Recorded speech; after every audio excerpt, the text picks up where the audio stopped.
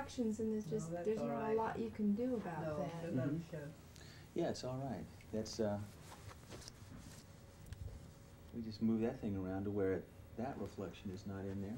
And, And as the over. sun goes down, that- that'll, that window will get dark The too. sun is so late going down these days, so. Mm.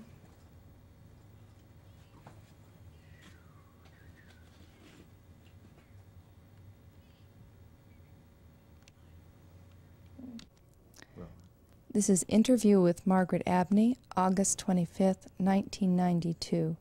200 Carolina Avenue, Park West Condo, Winter Park, Florida. Interviewer Nancy Asseco, cameraman Robert Gilbert. Equipment camera Sony BVP 50, Beta SP recorder Sony BVW 35, audio on channels 2 and 4. Copyright Brevard County Historical Commission, 1992. Margaret Abney, tape 1.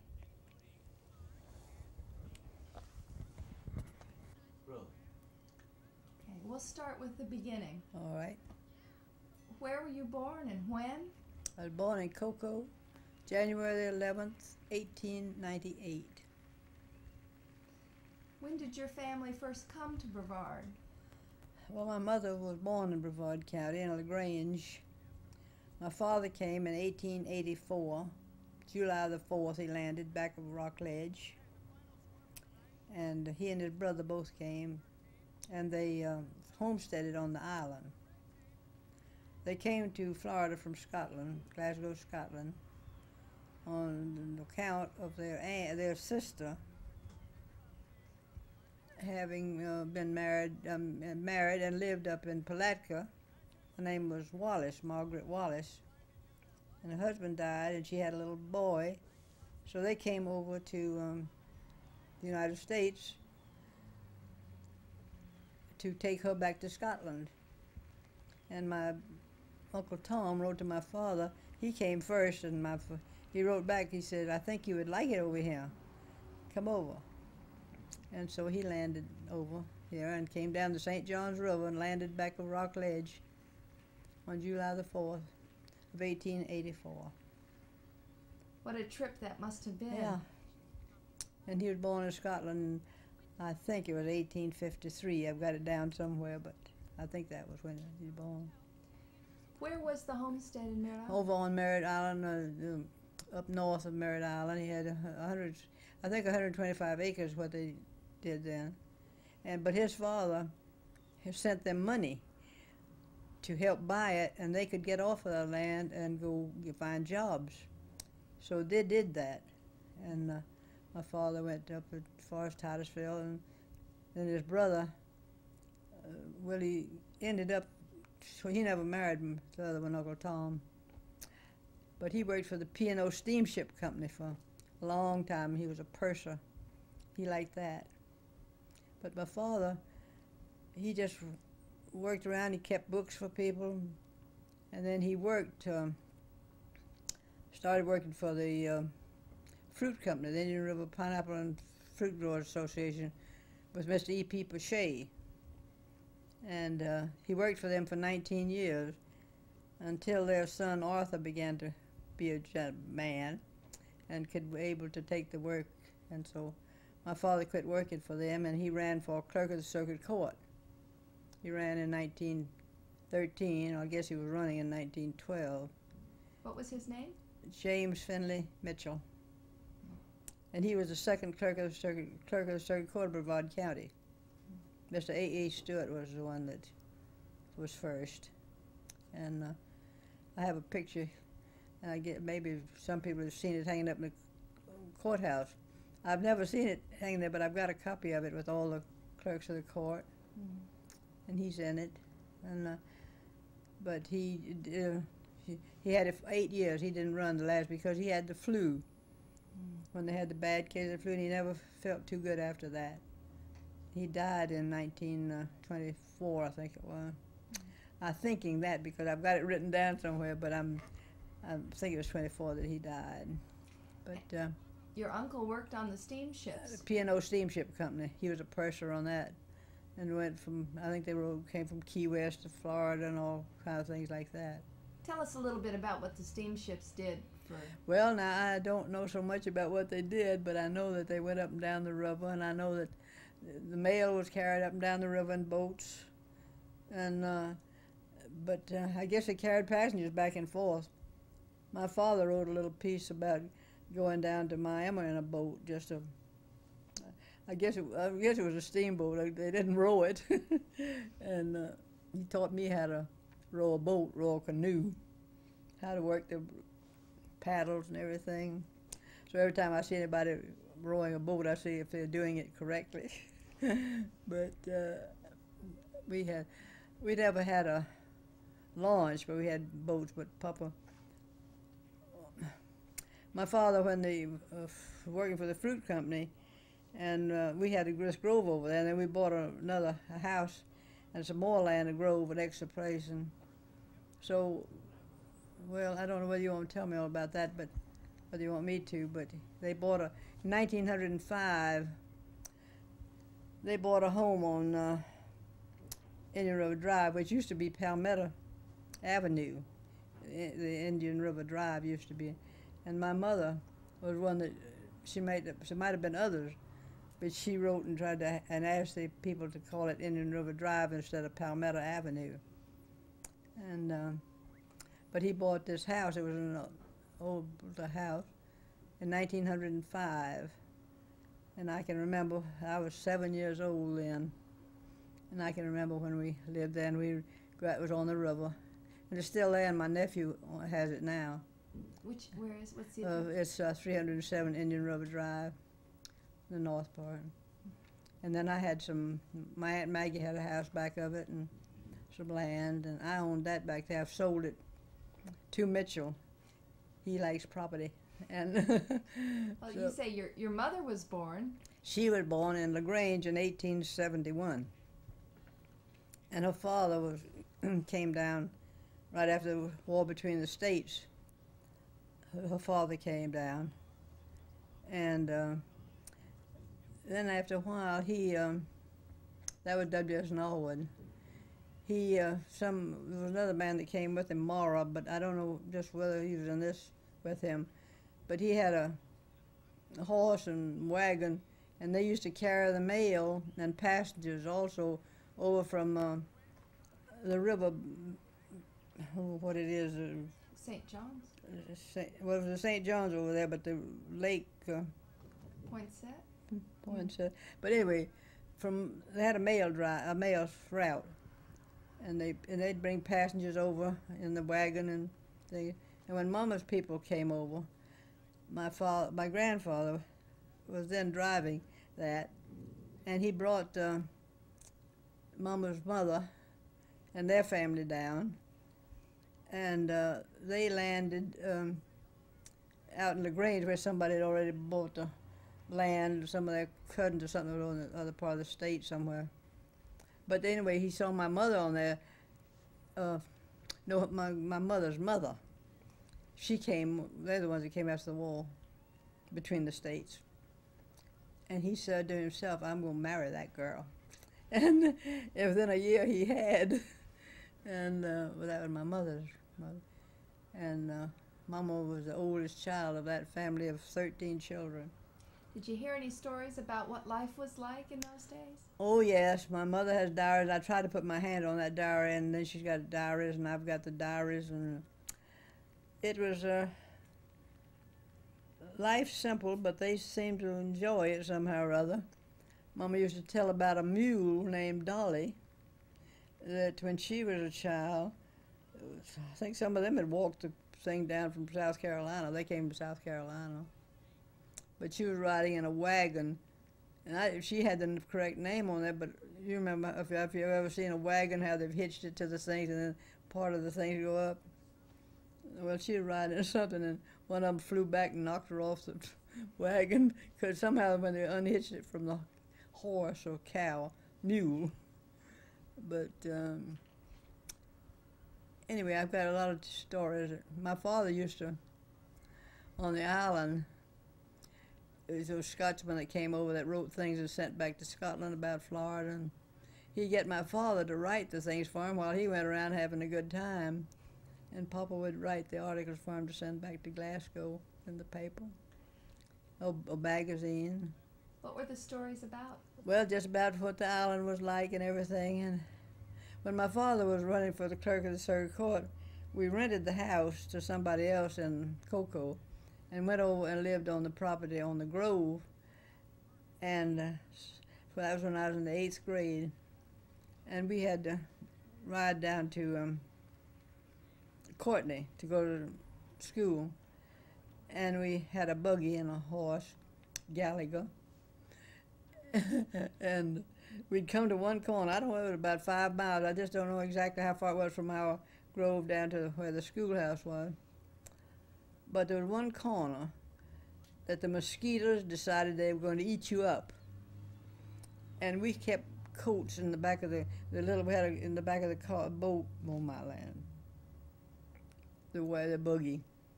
It, it went up and kind of like a car is now. You just put it down, shut it up. And we kept coats in there. When we came to this corner, where we knew the mosquitoes were going to take over, we'd put on heavy coat to go around that corner, and then then make the horse fly as fast as he could. And we unhitched the horse and tied him to a tree and went to school. and we went home from there. But I just did that in the eighth grade. But I started school in Cocoa. You want me to keep on? Yeah, well, this all sounds real good. Let me, uh, You better give me something else to talk. yeah, well, My first school teacher was Miss Stella Mims in Cocoa, and uh, when I was in the Prummel. And uh, Miss Stella Mims, her folks, well, she did too. From, from they lived in Mims, north of Titusville. what was the schoolhouse like? the one on the island um, was just a one-room schoolhouse, and there wasn't too many pupils in there. I don't remember any of the pupils, but I do remember the uh, um, teacher's name, Miss Gertrude Stewart. But that's when I was in the eighth grade. But my one in Cocoa was Miss Stella Mims, the teacher, was in the Cocoa school. And uh, I went there till I was in the, well, eighth grade. I just had to go over there because we rented the house and went over there then. So part of my eighth grade was in Cocoa and. What was a school day like when you went to school in Cocoa? What would it be like? Well, it was, uh, I guess, like any other school, but I can't remember much of it. The one part that I always laugh about is Miss Stella Mims. I think she taught all about my sisters in, from the in the first grade, and it might have been first, second, third, because I don't remember the second grade teacher. But um, and that was uh, in the Prema. The only thing that I can always remember about that school was we used to have to march and we had to exercise, but. Uh, I shouldn't maybe tell this, but it's so funny. I've always laughed about it. There was a boy that walked back of me, and we had to lean up and down to exercise. And I would always didn't like to lean up and down in front back in front of him. His name was Oscar Rouse. And I've never. I'd like to know what happened to Oscar. The only thing I've heard about was out um, in Oviedo, Oviedo. Uh, there was a boy out there named Rouse, and I always wondered if that was Oscar, but I'm not sure. But that's what I'm.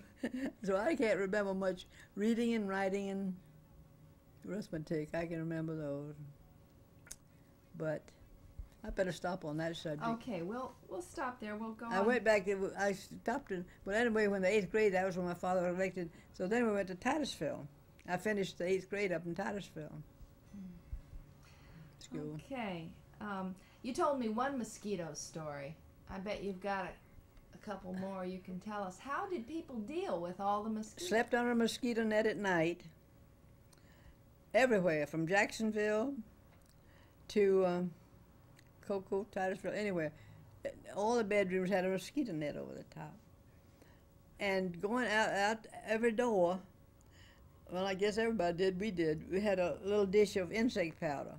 You lit that insect powder and let it smell. That would kill the mosquito and pretty near you too. But anyway, it smelled better than having mosquito. But uh, and then they had mosquito brushes and um, had things to switch them away. You know, they make some kind of a switch out of. I just can't remember. They made out of um, little old stuff that grows in palm. It's not palm trees, but palmetto little ones when they're small. The people used to make palmetto hats out of those, and wine plus a brush of hats and thing. Did you have smudge pots? And Oh yeah, we had smudge pots inside and outside and up and down, but uh, and you had to have screens on your window so they wouldn't come in if you wanted any air. And uh, but the mosquitoes, they were terrible. Sometimes they were so big, and other times they were little. You know, and they always bit you. And uh, but everybody had the insect powder. I don't know what else they had besides insect powder, but I can remember the insect powder. Every now and then I want to buy a little if I can find it just burn it just to see what it smells like. See if it smells as bad as I thought it did. but uh, I can remember some good things. And, um, well, I can't remember bad things when I don't remember anything bad. I, I remember the children, we had a good time. Let's cut for a second.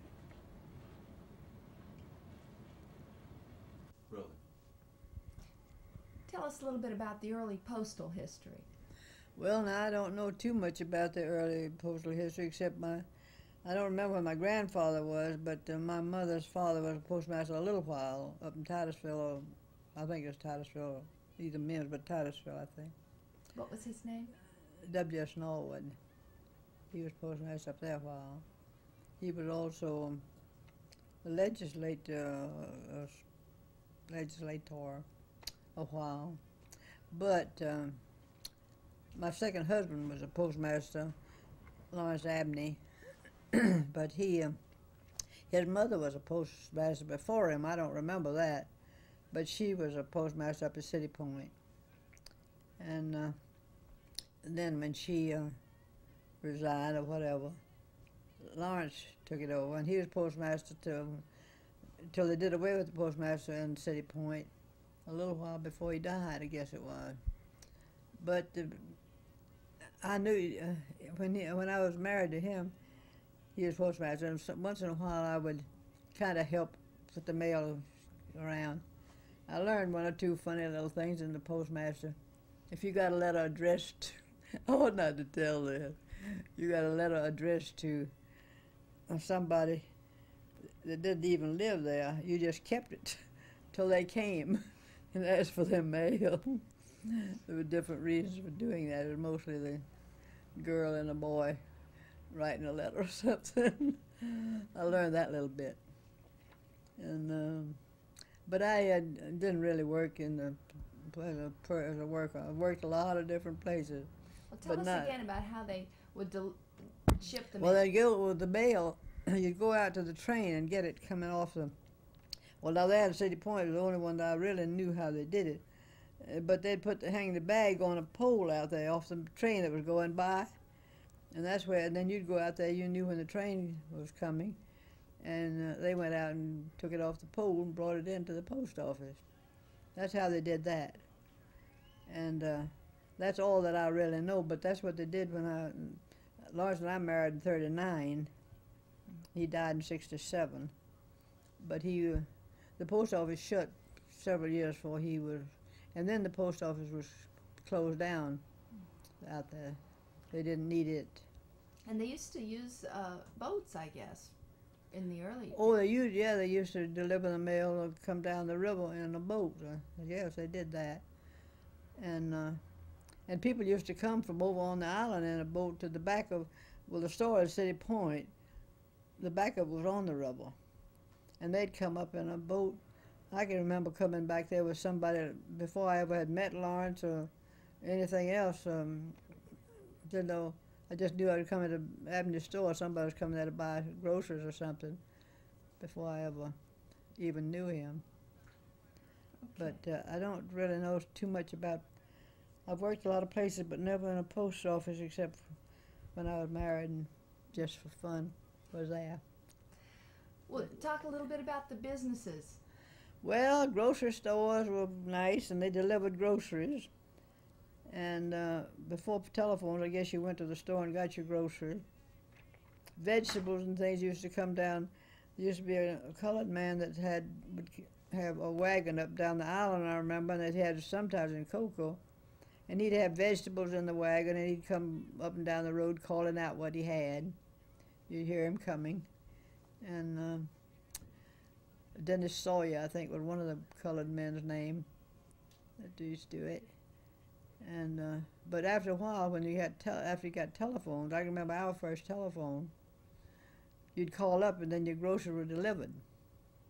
My mother, I don't think my mother ever, after went to a grocery store to get things. She maybe she did when she was a little girl, but not as long as I can remember. And after my first husband died, I came back over from Winter Park to Cocoa to live with my mother for 10 years before I was married again. But she uh, always called up. I remember the first telephone that we had there. There was one that you wound it up on the wall to ring your number. And then you'd call, uh, you didn't ring it up to call your number, have to call, they'd call it, a girl at the other end would answer the telephone. Number, please. And you'd give her the number, 29J or something like that. And she'd ring the number for you. That's the way you answer the telephone. But that was quite a thing to get the telephone. And I remember, you want to ask me a question about lights? Yes. Well, for a long time it was just lanterns, you know, and lanterns for outside and uh, oil lamps for inside. You had to shine them, or whatever you call them. the what do you call the? Oh, scared me. Well, shine the um, glass that was on the. I've got an old lamp back of that thing over there. But then I broke the chimney. Chimney. I broke the chimney coming over. I lost it. I haven't seen it since I came over here. That's the way to move, lose things, and you just get moved and you clean house. I haven't moved for a good while now, so I haven't got rid of all my junk. but anyway, um, that was kind of interesting. But anyway, the oil.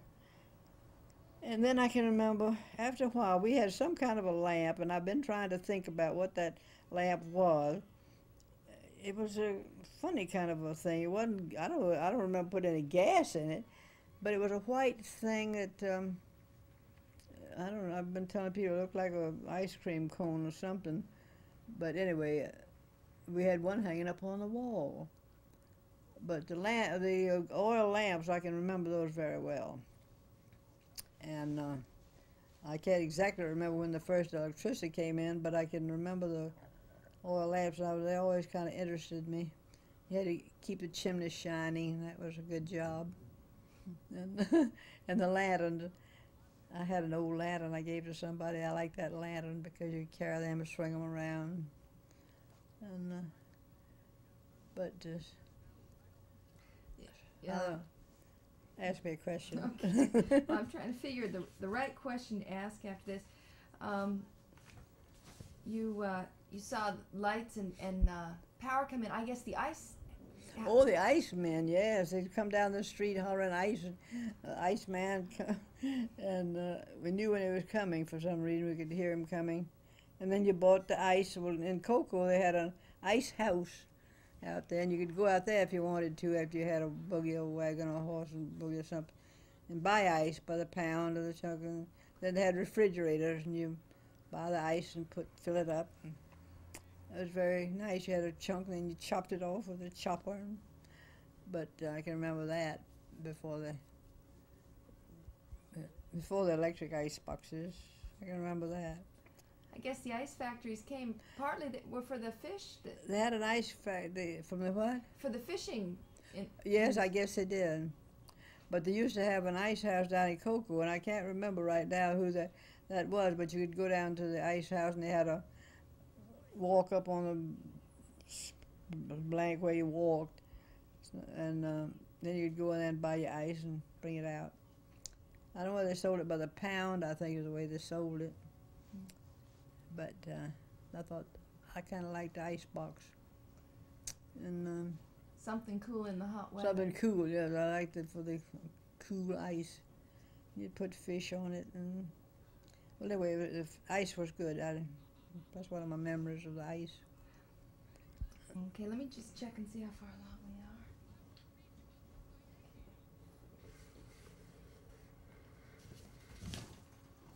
are. We've got a few more minutes on this tape. Um, I'd like to talk to you about the railroad coming through.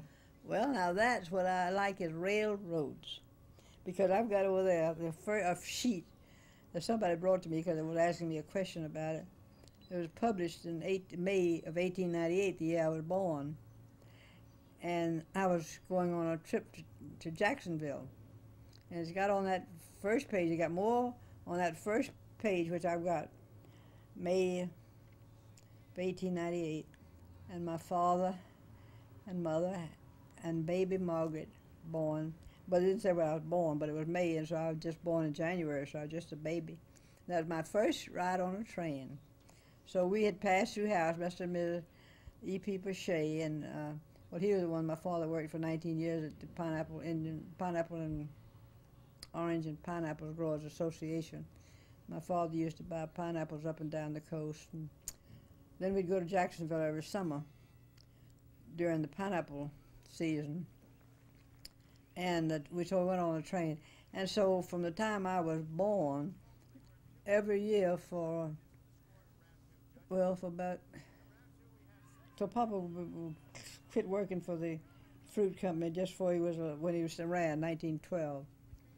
But before my mother and he were married, he worked for the company, the fruit company. But that was my first train ride, and I said that proves I was on a train. But everybody's fussing about the train making so much noise, you know. I can hear them from here. In fact, the railroad track's right out there somewhere. For they went apart, Railroad. And one day in Cocoa, everybody's fussing about the noise that people down in Melbourne that they didn't like it, um, the horn when they blew so much. And so I went down to the city hall one night. I said they were having a meeting, and I got up and I was sitting on the back seat, and I, the, the woman that was the head of the up there on the well, she was one of the leaders of the thing. She she could see that I was happy every time anybody got up and said that let the trains blow the horns. So she beckoned for me to come up. So I got up there in front of everybody and I said, "Well, if it wasn't for the trains, there wouldn't be any Florida." I said, "The trains brought everybody down to Florida on the train," and uh, but I think I said I like to hear them blow, and I like it here. I learned something on a train not long ago. My children, I said I want to take one more train ride, so I went up on the Amtrak to Georgia to visit my youngest son, and uh, I, every now and then I heard that horn blow, toot toot toot.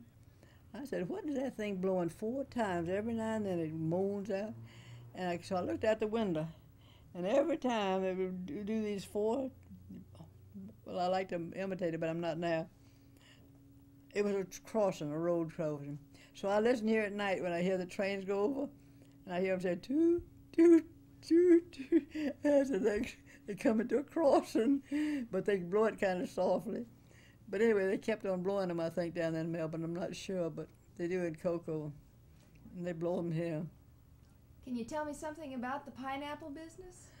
Well, my father used to go up and down the court, and we used to always have a, when we went to Jacksonville, and that's when the, they shipped the pineapples through Jacksonville then. And um, we always had a crate of pineapples in our house, a long crate, like they were little pineapples, and they were so good. I just loved pineapple. And after we'd get through those crates, we, four of us, we'd play out in the yard, make us a house, build us a house out in the backyard with pineapple with pineapple boxes. but anyway, I uh, don't think a lot of people know that uh, pineapples ever grew in Florida. oh well, I think most everybody does. They up and down the down to I think I don't know how far my father we used to go down to buy the things, but they grew them for a while, and I think they grew some on the island too. But anyway, on this front page I've got of the paper, nearly every column's got something about pineapples in it, and it was quite a business. And after my father quit and uh, he ran for clerk of court, then I think Arthur Porcher managed the office, but my father managed it for 19 years. And uh, I Okay. loved pineapples. I still like them. In fact, I've got caps on two of my front teeth, and uh, the rest of my teeth are mine. But I think I did it from eating all those pineapples. Cut. Fabulous Twin Towers Hotel and Convention Center at the entrance to Universal Studios Florida.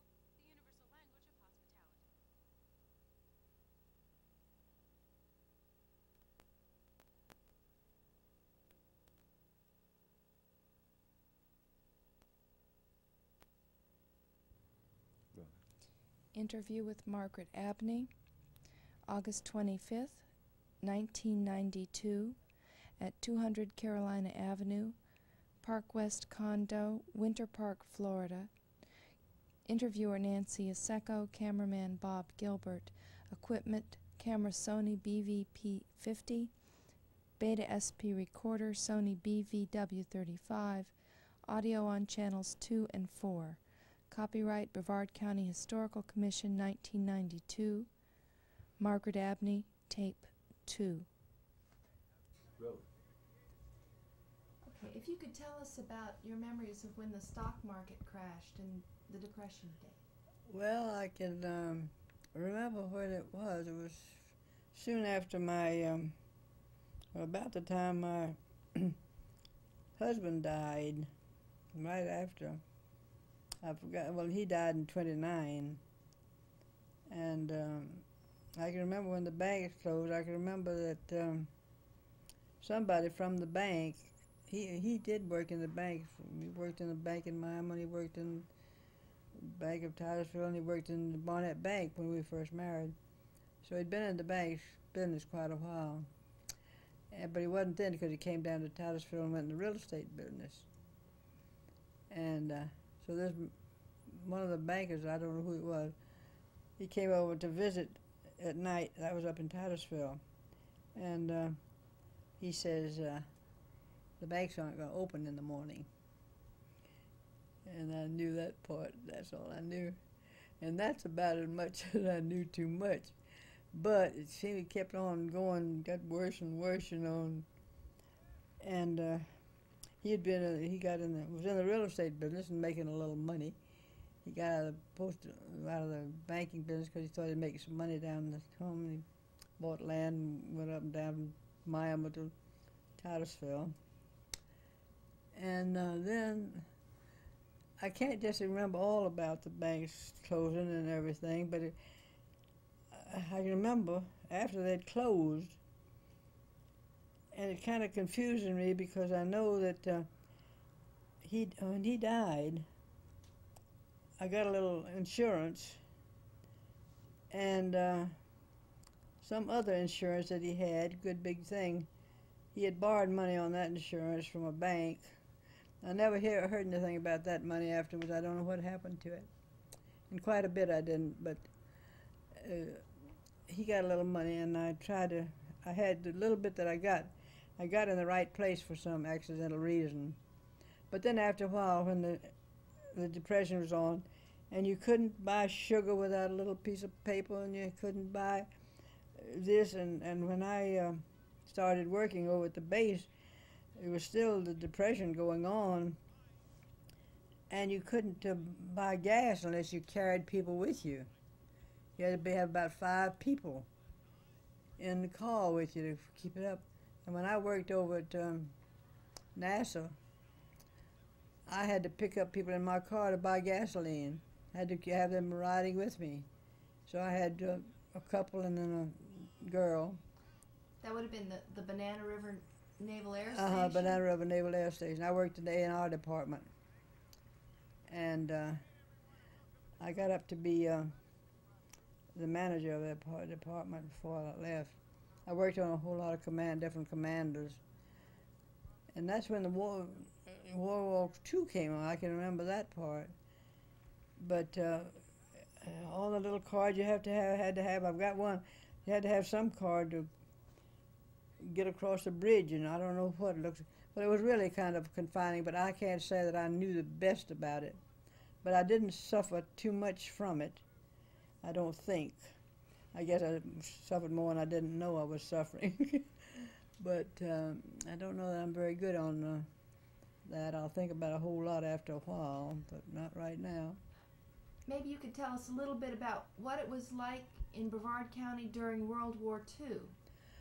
Yes, I can do that because when my, my young son was in the Army, and uh, I used to be a spotter, an airplane spotter.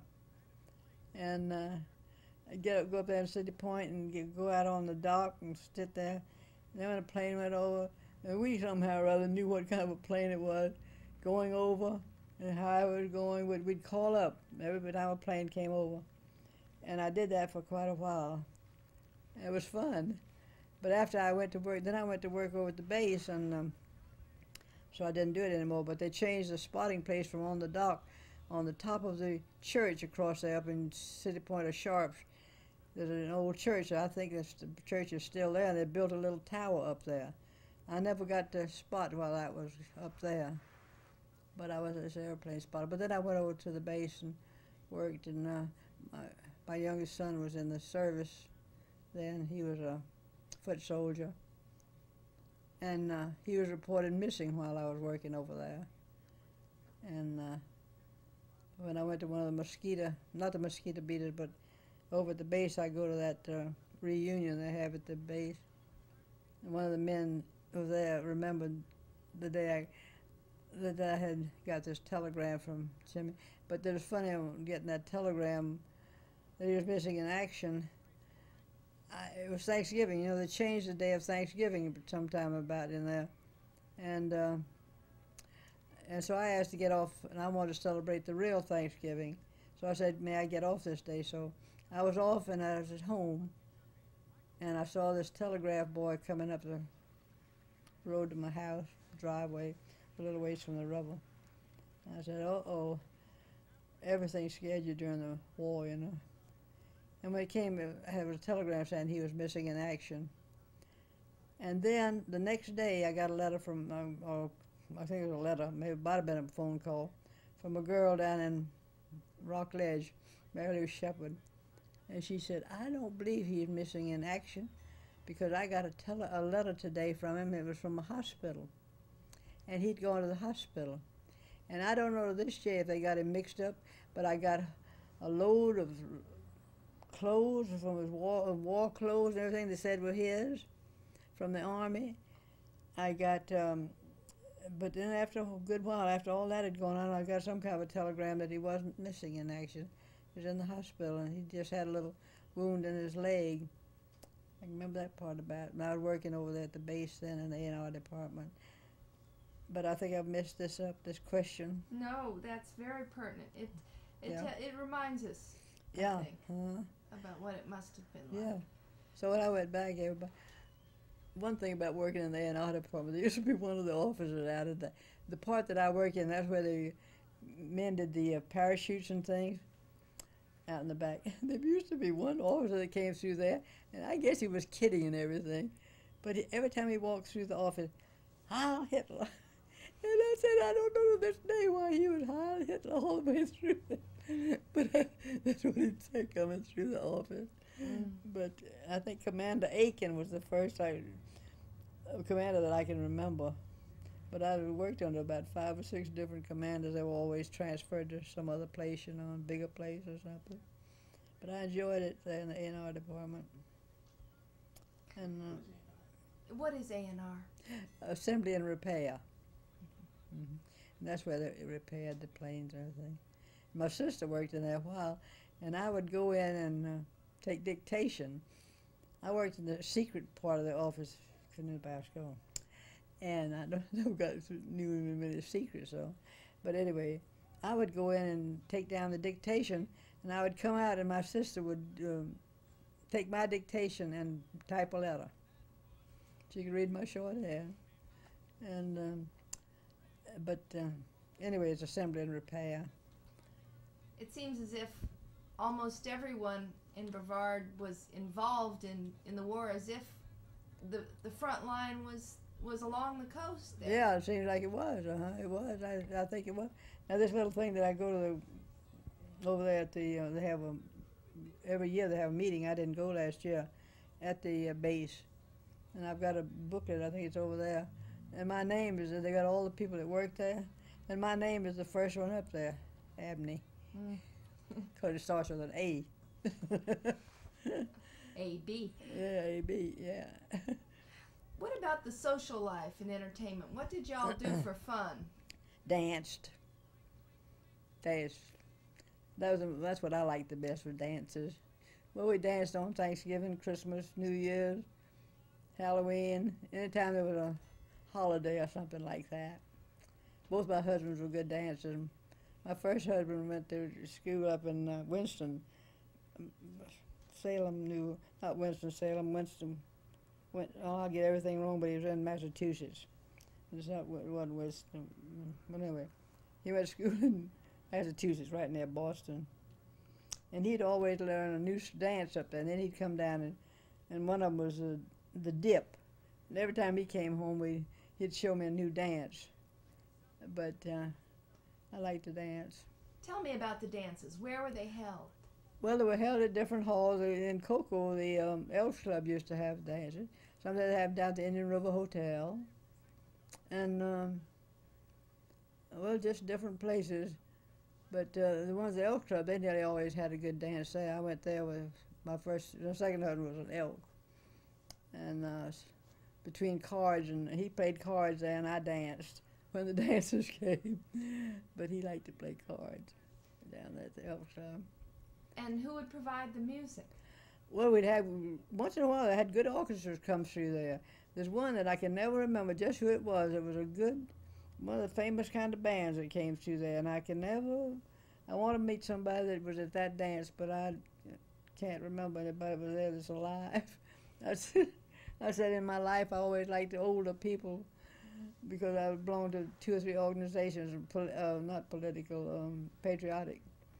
They both start with a P, don't know. but anyway, and I said they were all older. A lot of them older than I. Most of them were because I joined. I've been I've been a DAR for seventy years, and uh, but I said everybody older than I am are dead now. There's nobody left.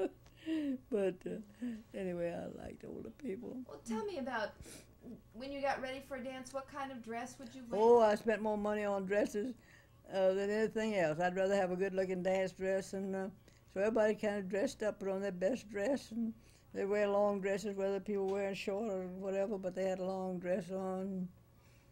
I've got one that I wore so uh, long ago. It's terrible. It's a white dress with a shiny top. Uh, uh, you know, things on to make it shine. And I've still got that dress, and I ought to throw it away, but I can't do it. And uh, but um, I don't know. Over on the island, I've got a picture. It was in the little paper they publish over there at um, on the island. But it's got the names of all of us in it. It was the Orlando Social, not the Orlando Social, but the uh, well, Indianola Social Club. And nearly everybody in the picture. I've got three of my sisters are in it, and and uh, the teacher was in it. Uh, her te- uh, her name. I've got her little name, her name in a thing. And but anyway, they've got me, my sister as I am, and then I'm where I'm sitting is next to Charles Reed. He's the one that put it in there, and uh, the paper. You know when you put a, I don't know how the names got wrong, but my sister sat there, and then they got my name under it, and then I'm sitting next to Charlie. But uh, anyway, uh, we learned to dance over there. There's a girl. Oh, right this minute. Her name I know it just as well as I know my own, but she lived over there. I came over and visited somebody on the island, and uh, Well, what other kind of holiday things would you do?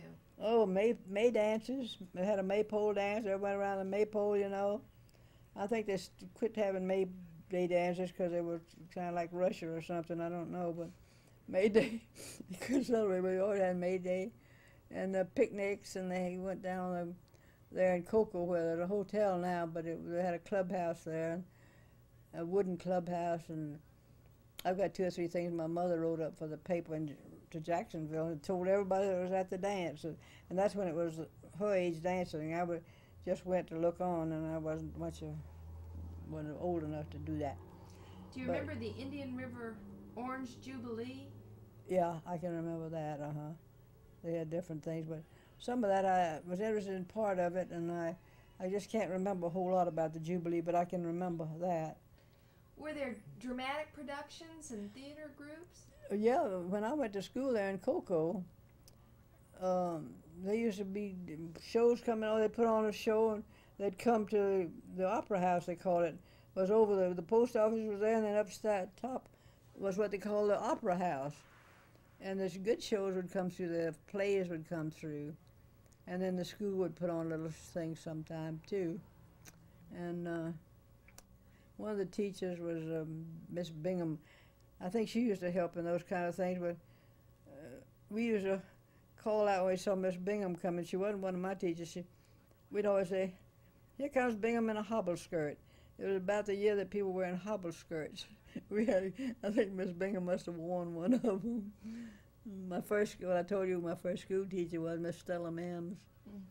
And, uh, Do you remember the circus and tent shows coming? Yes, I can remember them coming. Yeah, and then up at Jacksonville, they used to have. Uh, I remember them coming through there, and they. I can remember looking through something and seeing the Chinese and the Japanese. I'd never seen them before, and they would had something in the show to do in the show. And uh, they'd come through Cocoa and Titusville, put up their tent, and then we'd go see them in a tent. And I can remember that. Um, but uh, I try not to say yeah. I ought to say yes. I've got two or three things I'm trying to break myself of, and um, Mm. but I haven't done it yet.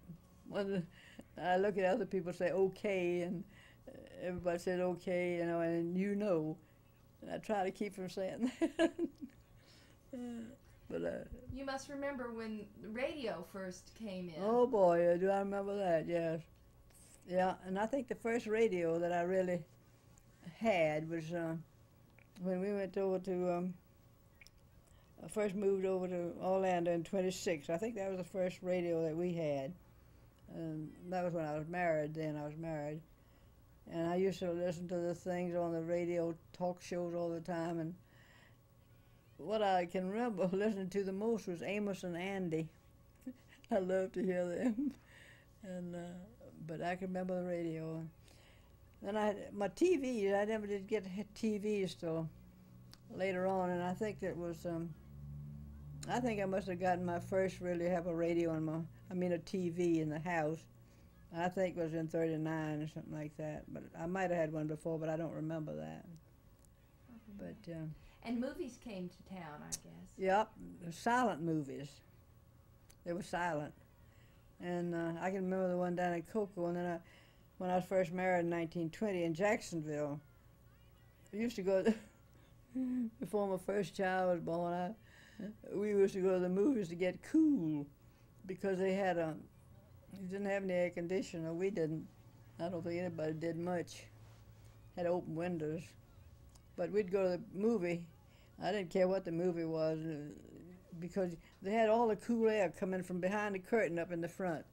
And they put the air out back there, they pulled the curtains out and everything. But I spent most of 1921 in the movies trying to get cool. Oh, Lord. I remember streetcars from Jacksonville. I like streetcars. I can still hear the bells ringing on a streetcar. Mm, you're not asking me about that, though. well, not. No, not I you better stop jabbering, We'll yeah. stop about Jacksonville. Yeah, we won't get up there. Which of the early businesses do you recall in the Brevard area? Well, when my papa was in the fruit office, I just thought everybody had an office, I guess, and that was that. For when I grew a little larger and went to Jacksonville, I can remember once or twice. They, they moved the office from old Jacksonville over to South Jacksonville, and I'd go across the ferry, and maybe sometimes take the mail and get the mail back. Just as a kid, I just did it for fun, from the mm. office over there. But What uh, about where did you get most of your staples and perishables and things when you were in from Cocoa? the store? And down in Cocoa, and uh, when I, excuse me, in Cocoa, I think. It, well, I, it's Fields. I think it was uh, the Fields. It was the store was named Field, I think. And uh, do you remember the early doctors and yeah, the doctor that brought me was Dr. Hewlett, and uh, then there was Dr. Holmes. And uh, those are the ones that were both down in Cocoa, and they both traveled up and down the coast. They'd go on the train or the boat because there weren't many doctors And they, But they both, um, Dr. Holmes lived up north in Sharpes, and then he had a home later on, on the island. Dr. Hewlett had a house there in Cocoa, had a pretty home right down there. Right, it's gone now with the tennis courts down there, and, uh, but it's right across from where the Porcher house is now. That was Dr. Hewlett. I've got a picture of the of the house somewhere in my pictures and fence over there. This Allie Hewlett. And, What about the the dentist? Was wasn't there? A, yeah, dentist uh, Dr. Daniels was my dentist over there in Cocoa, And then later on, he had a son that turned into a dentist, and he was in Orlando. And I went over to Orlando, and, and uh, when I lived there, it was uh, Leland Daniel. He had a daughter, Dorothy, I knew. Do you remember any of the lawyers that? Uh, Well, I didn't have much doings with doctors till later on. One was Shepherd, I think that only. So, uh, let's see. Were you or any of your family really involved in hunting or fishing? no, Mr. Brady was, Mr. my father-in-law. He hunted. Every year we had a turkey. Thanksgiving was a wild turkey. He'd go out and get a wild turkey. But I don't know if my father ever did either one. I remember the fish I used to eat mostly was mullet, fried mullet. but I don't think it mullet's as good as they used to be, but they were good then. Uh, mutts and mullet and grits. I still like grits. I have my nanny Rhea cook some grits every once in a while if I want something real good. I just look grits with butter on them. Where would you get the mullet? The mullet? Well, used to get them out of the Indian River. I'd buy them at the fish house, though. I never fished. I tried to fish once. I had a fishing pole, but I think I caught one fish in my life. And that took so long to catch him, I didn't care. I was not a fisherman. But uh, we had a neighbor there in Cocoa when we were just little. Uh, like I said, in 1905 when we bought the house on the river, and I was seven years old we had a neighbor that came down from New York every year, and they had a boat right next to us in a dock. Mr. Snyder, Mr. B.C. Snyder. And uh, so we enjoyed that. There were a lot of Northerners that would come down for the, the season, Yes, even a long time ago, I guess. yeah, there was a lot down. It came down to Rockledge, and there were a lot of little children. Was one, Lears, Lillian Lears was one of the girls, and, and another little girl, I forgot now which one it was. We used to brag she came from Michigan. And so I would say, well, that, my father came to Scotland, so I would have to say my father came to Scotland. Otherwise, we were all crackers. And uh, and I would talk about Scotland. Oh, she says, that's will you pass by Scotland to get to Michigan? so she could try to get the best of me. I said, well, maybe there was a town named Scotland, but I didn't know it. I said, it was across the ocean to go to Scotland. oh, Lord. My father used to. He spent three years in South America before he came to. Well, he went back to Scotland from there. He worked for an uncle down there that was in the woolen business, and he then he went back home. His mother died young, and but uh, he spent three years down there. So he'd sit up and tell us stories at night, and and we'd all sit around and listen to Papa tell us wild stories, whatever they were. Yeah, but uh, he was the clerk of the circuit court. I've got his picture. Did you ever see the pictures of the clerks in the courthouse in Titusville? He's the second one over. To me, he's the best looking one on there. He's got a mustache. Where would the uh, where would the Yankees stay when they came down? but let me tell you, did you see that thing in the paper the other day? Are you a bubba, a Yankee, or a cracker? Or are you a southerner or a northerner? I said, well, I'm, I'm a cracker, but I never cracked the whip. And otherwise, I'm a southerner. But I like to tell people I'm a cracker, but you know where the cracker name came from. You've heard that. It's because people cracked the whip for, for the cattle and things for the thing. And so that's where the cracker name came from. But the bubber, I don't know where that came from. Uh, B-U-B-B-A. I never heard that, what it was. But I like to say I'm a cracker, but I, I don't really consider myself a cracker. but my mother was born in Titusville. She went to Niagara Falls when she was young. Spent a year up there with a friend, and they used to come down to Titusville oh, for her health. She came south. And later on, when after my husband died, I went up and spent a, a few weeks, um, a month or something, in the same home with the same family for a while with them. But uh, I guess all along, uh, there was a white community and a black community. as far as I know, uh huh. But we always had a colored person that worked for us. I called them Aunt Soren. I had an Aunt Sarah. We'd call, that's what we'd call her. And really, my father, going back and forth to Jackson, one, oh, not to tell this, but uh, once after he'd come home, a colored man, um, Steve Smith was his name. He came down and uh, followed my father down here, trying to get some work. I don't know that he ever got work, maybe so, but we had a little shanty out in the back. We called it a shanty, which was a, had been the kitchen. We moved it off the house and did some rebuilding on the house. And so we let him sleep back there, and we taught him how to read. And I can still hear him saying, I see a cat. And we, but he, he'd, he'd be reading way out loud at night. But we always had somebody working. But they, they lived out back of Titusville a little. But uh, we never, I never did, and I don't think we did. But Ever was so. Well, I don't know. I guess maybe we just didn't know because they were they helpful people. But I think lots of times that a lot of them have grown up mighty healthy and everything, and when they were slaves, they had a place to live, they had food, and uh, they had work to do.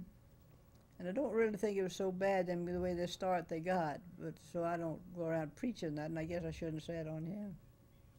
Well, But uh, do you remember the time of integration? That would have been in the 60s. Well, I remember I had a little girl, a colored girl that worked for me, and um, she used to always, uh, not always, but every now and then she'd bring a Pittsburgh, either courier or something, and it was just when they first started talking about it, and uh, she'd actually leave it behind for me to look at. and uh, but that's the first time that I really kind of waked up to what they were doing. And then I had a TV then too, and they'd be talking on there sometime. And one of the girls that I had working for me, she says uh, somebody was talking on that, and I don't know who it was. It might have been the main one. She says, "What is he talking about?" And I don't know if she was trying to egg me on or what it was. What is he talking about? And I didn't know any more than she did, so don't worry about that. But uh, we had an aunt Sarah that worked with my mother's last boy. The child was a boy that died, but we were staying up with the Packards, all of us, the kids, three of us, four counting me, the night before. So we knew Mom was going to have a baby. So the next morning she came up to get us, and we saw her coming, and we'd been picking flowers out in the Packard's yard, Miss Packard, and uh, we saw her coming. Well, when she said well, she wanted to go in the house and tell Miss Packard something, so we started running home, at about two blocks north of where we lived, and uh, we flew, and she kept calling us to stop us, and we wouldn't stop. And when we got home, then we found out the baby was dead. But we had flowers for Mama. But that was silly to tell. It was one of my first sorrows. A little brother.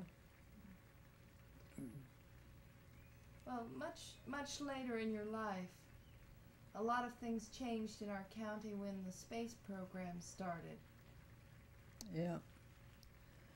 The only thing I remember is that I worked over there so long, but I can't remember.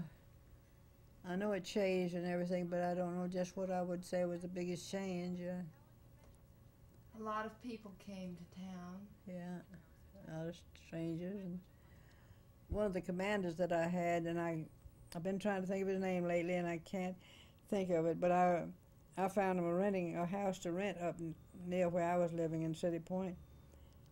And uh, his wife and I became real friendly. And after they went out west somewhere to- after the war, well, after they left, she used to write to me all the time, and I can't remember that name. And I bet you I've got some letters that she used to write to me, and but I was real friendly with them. Okay, let's cut. We're near the end of this tape.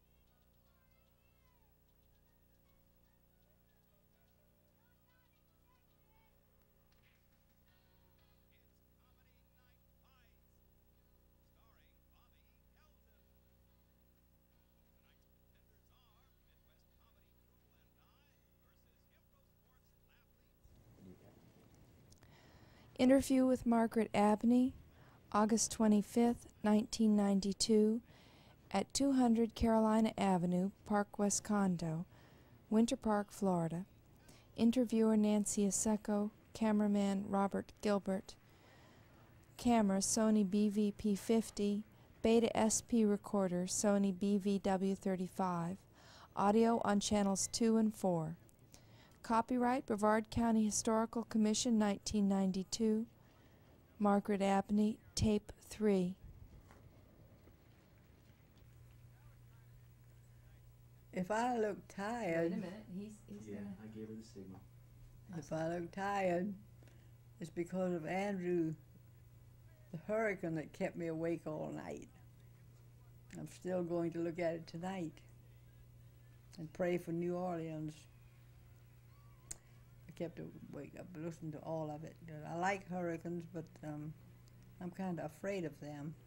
Uh, but that's why I look tired on account of Andrew.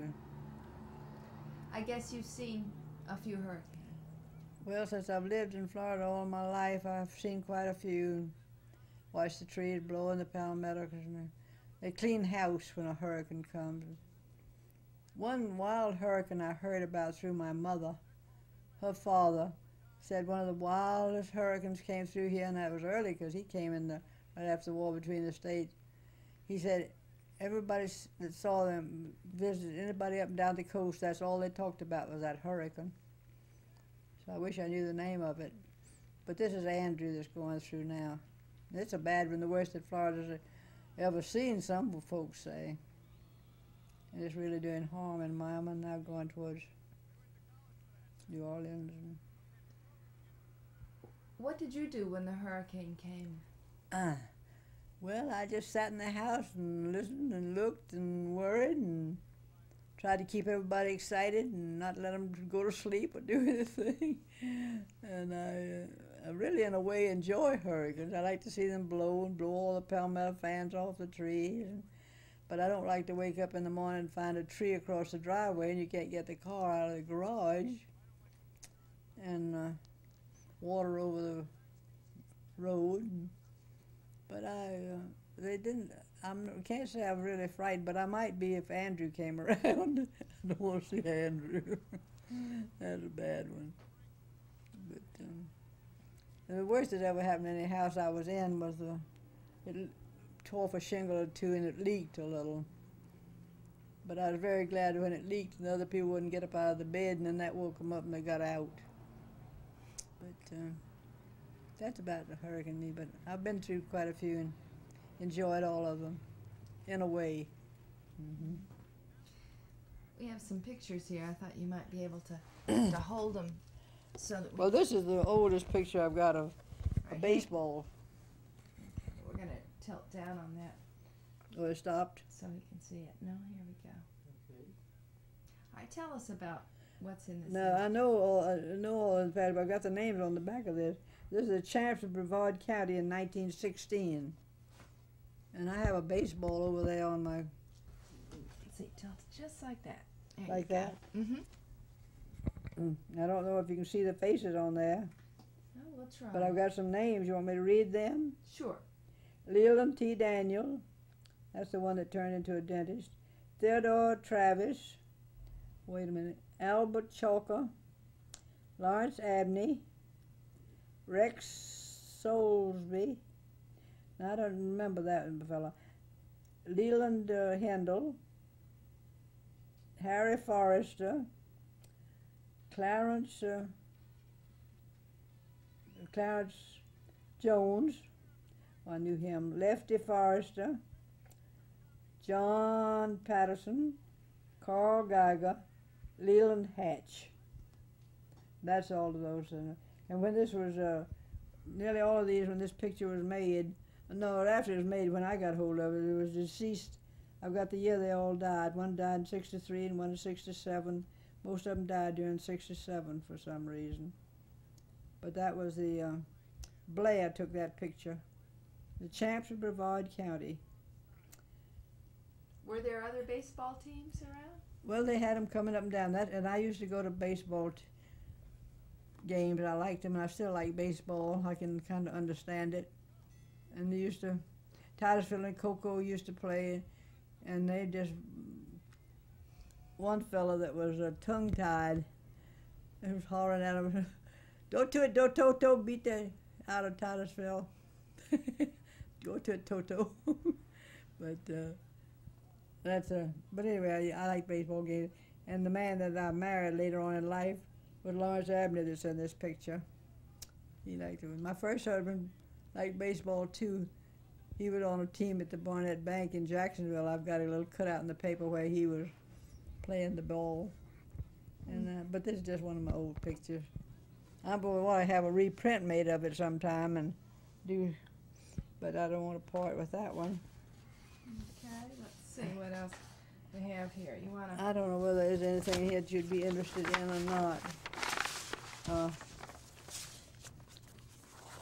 well, now this is a picture that I don't know the boys in here. I think I know which was the one in there that's uh, uh, two boys. Uh, but this is a Titusville school a long time ago. I don't even know.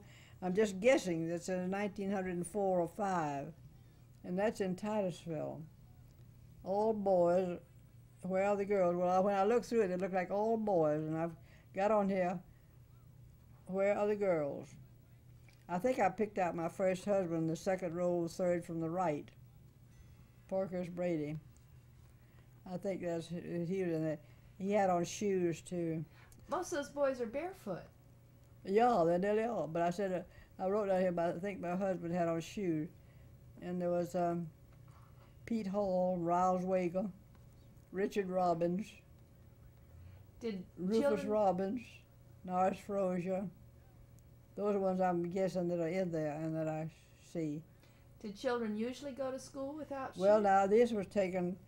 Uh, I don't know. I think they must have because when I taught in Mims one year, in 19, uh, right after I graduated from high school, and nearly all the children were barefooted there. And uh, so I'll take this down. I don't know whether you can see any of those or not, but That's good. the, I think some of those, those that's got coats on. I think they were the Robbins. He was a lawyer, and, but uh, they are they all barefooted. Looks like, but, uh, but I don't know. about But Well, it looks Mm. like here's some of the girls, but this is a different school. oh, that is uh, oh, this is in Cocoa. This is a bunch of. I've got the names on here.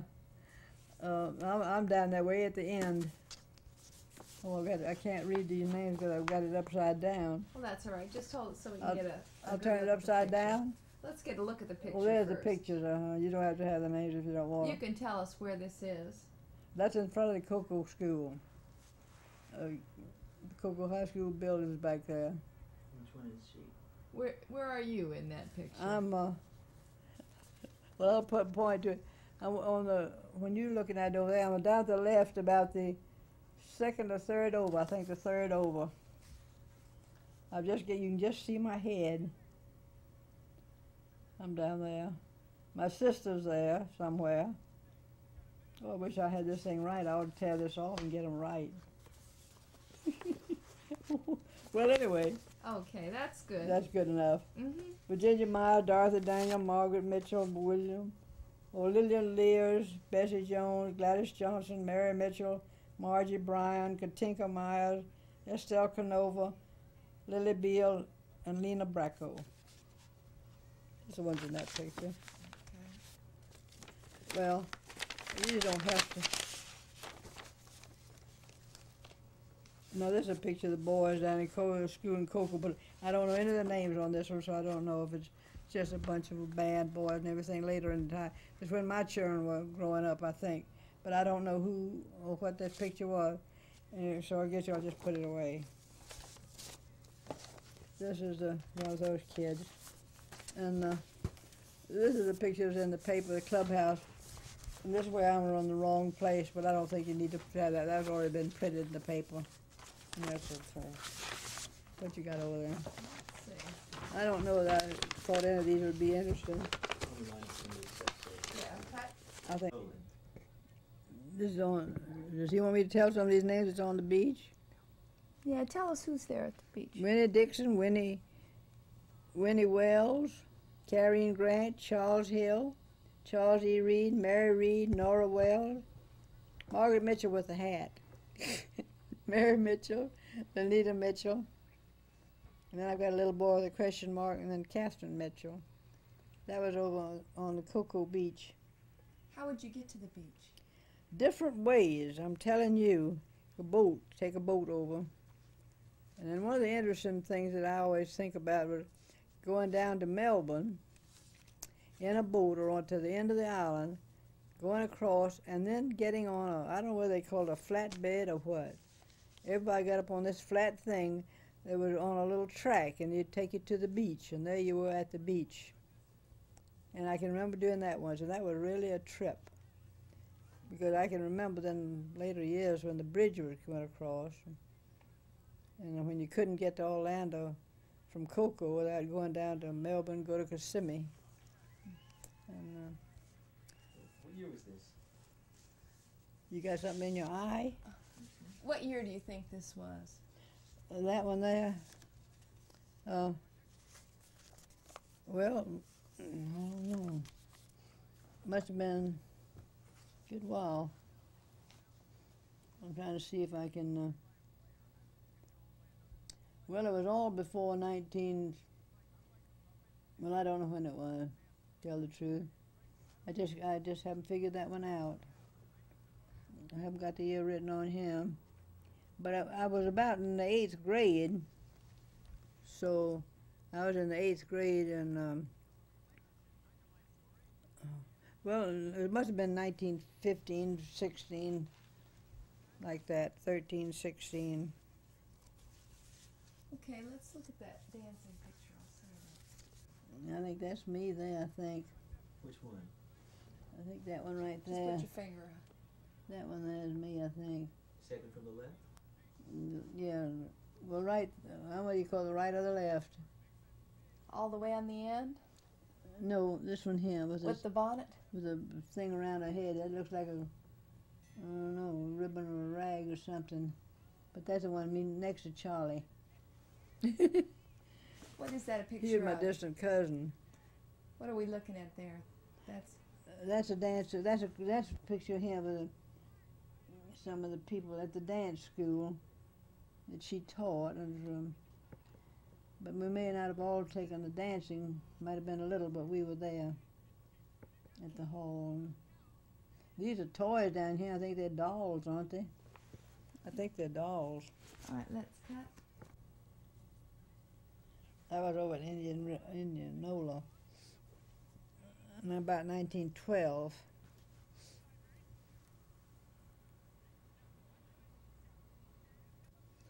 That's all my, that was Margaret, Mary, Nita, and Catherine. That's when we rode to, we went down to school, and that's Gallagher the horse.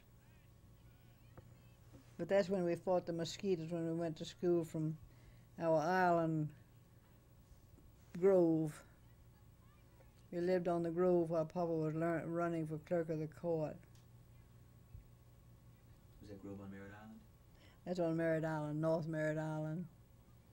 They, my mother called the grove. Uh, I better not say what the name is. What did you call it? I'm trying to think. That's what I'm trying to think. Because where the land was sold, they've got a it's into a part of buildings north and a road going down to the river, and they've an Eagle Grove. She called it Eagle Grove, and there's a, the street's called Eagle Street there in North Merritt Island, way up on the island there somewhere. But she, what? That buggy? That's what you rode to school every Well, that was the buggy. Well, that was while we. Well, that was when I was in the eighth grade, and uh, just for that while we went to school in that drove, and I drove the horse. So you driving? I did the driving, yeah. And we done hitch the horse at the school and uh, tie it to a tree and then get time to come home. We'd unhitch it. Tell us about this picture, the Dixie. This one. Mhm. This is playing tennis in Titusville. That's when my clerk, father's clerk of the court. And that's the Dixie Hotel on the river. and uh, I think there was more posing than tennis.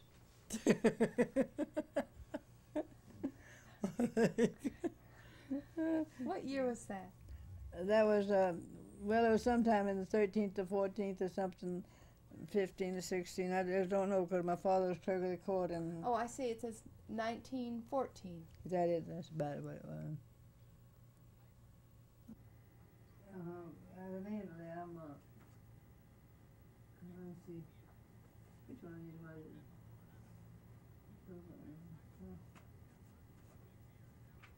Put it.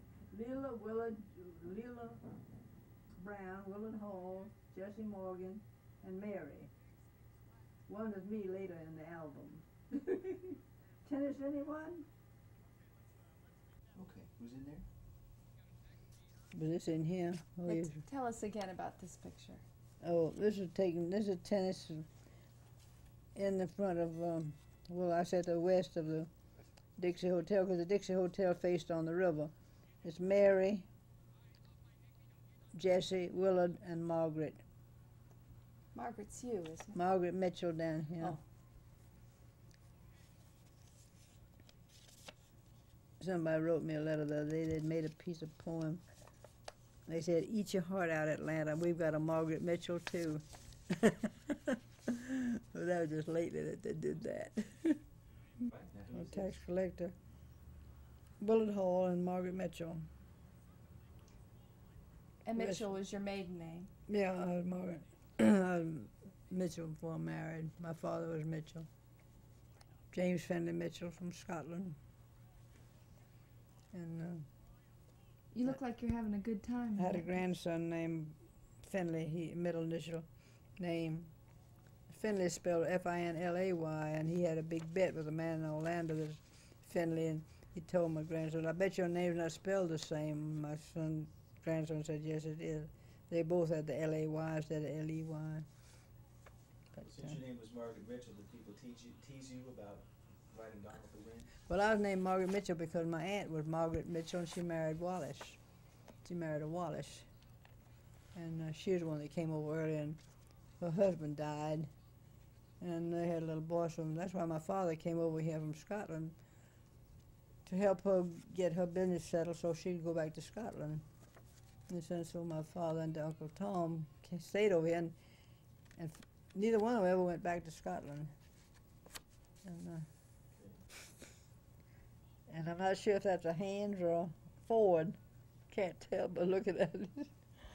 To. Did you like to drive? Well, I didn't drive much because we didn't have a car. My father and I, when I was little, but my my husband to be had a car, and uh, I learned how to do a Ford. You know, and you turn, made the gears with your foot, change the gear with your foot. And after I got married, we went to Jacksonville. I learned how to shift the gears on a, a car we had, which now escapes my memory. Uh, but it's a car that's still going along on the road. But I learned to shift the gears on the, one of the busy streets of Jacksonville, which wasn't very busy. But that was in 1920 when I went up there to live in Jacksonville. See, I graduated in 1916 in Titusville. I've got my graduation thing over there. We've seen you in a boat. In, I guess that's near Titusville somewhere. Yeah, it's out there on one of the lakes back up Titusville. Uh, what, uh, what do you call that thing back there? Mud Hills. Lake, uh, I don't know, I can't say, but it's the nearest lake when we went back there, back of Jack- Titusville somewhere. Think these are interest, anybody? Just tell us what's happening in these two pictures. Let me see it, turn it around a little so I can well, see it it. says it says, "Goodbye, Jesse." Yeah, Jesse was taking going off on the train somewhere. And I don't know where she was going, but that's Jesse Morgan. She's one of the ones that graduated with me. And uh, What train was that? what what? What train was that? Florida East Coast Railroad. Was she heading north? That's the one that I have that thing in there. That I'd like to find that first thing. I'd like to see that show that front page of that paper. Man coming down the aisle selling bananas and fruit, you know, and they'd come down. I like the bananas. Uh, That's when we went to Jacksonville every summer when Papa was. That was just about the only way to get around at that time, wasn't it? That's what? That was just about the only way to travel. Yeah, yeah. hmm And it was kind of fun. But you got it. Now I'll read you a little news. What is this? This is the Indian River Advocate, published. This date of this paper was May the 27th, 1898. Price five cents. And I like this because it shows my first train ride. And all the news in the town, the county, and everywhere else is on here. The Democratic Convention at Titusville and all that. It's all interesting, but I'll read this because it's my first ride on a train. And, where is it? Mr. and Mrs. E.P. Porcher and family, and Mr. and Mrs. James F. Mitchell and baby of Cocoa passed through here Monday on their way to Jacksonville to spend some months. Mr. Porcher is general manager of the Indian River and Lake Worth Pineapple Growers Association, and Mr. Mitchell is his assistant. They will now attend to all shipments of pineapples sent to Jacksonville by members of the above association. Now then, I would like to read a little article on the other side. My husband, Parkhurst Brady, was born, oh, this says births, born to Mr. and Mrs. L.A. Brady on Sunday morning last, a son. May he live long and happily, following in the footsteps of his worthy father, who is said to be the happiest man in town. Now, that was my first husband, and he died in 1929 in a car wreck. Now, we were married in 1920. Now, then, the other little article was interesting too, but I don't think I want to read the whole paper. It's a, it's a wedding on Wednesday morning at about 11 o'clock at the residence of Mr. and Mrs. J.D. Hatter of City Point, Mr. Adam R. Brady of Titusville, and Miss Susie F. Brown of the former place were united in the holy bonds of matrimony by the Reverend A.D. Penny. The ceremony was a quiet affair, only a few witnessing it, and after receiving the hearty congratulations of their friends, the newly married couple left for Titusville, where the wedding dinner was partaken of at the residence of the groom's mother, Mrs. Albine Brady. The bride and groom are well and favorably known to this section and have the best wishes of all for a long, happy, and prosperous married life, in which the advocate hardly joins. Mr. and Miss Brady are residing in the Scooby Cottage on Hopkins Street. And that's that. But the, this was brought to me by, by some boy, and I right this minute I can't remember his name. But he wanted to find out something about Susie Brown Brady because in some way he was kin to her. But he brought me this piece of paper, which made me very happy to see it. What's the year on that? The year is 1898, and that was the year I was born. I was born in January. My husband was born in May, and I always worried about him being three or four months younger than I was. But he died in 1929 at the age of 31, leaving my two little sons and me alone. And so after he died, I said, I'm going to quit worrying. But I worried so just about that little bit. And now I'm 92 years old, 94 years old. I get mixed up on that birthday because all you have to do to any year is add to it, two to 1898, and that's my age. I had two to the year because uh, two years came in between. You got to be a mathematician to know what that is. anyway, it's 92 now, and it was two years before it got to be 90, 200. So I had two to 92, and I'm 94.